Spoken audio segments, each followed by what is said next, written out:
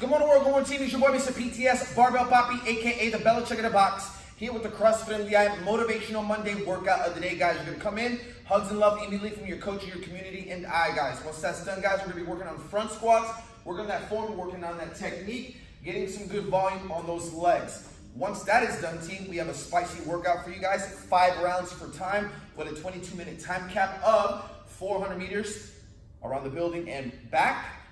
15 bent over row. Make sure you have a nice flat back. Boom, just like so. And then 15 push presses.